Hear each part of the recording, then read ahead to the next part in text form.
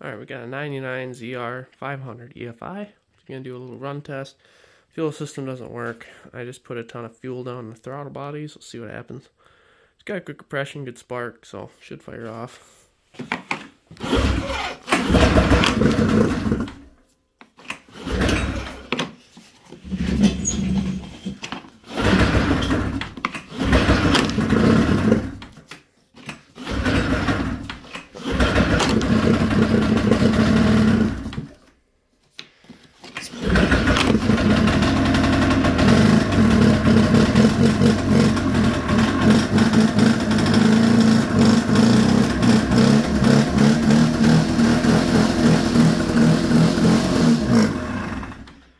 That's about it.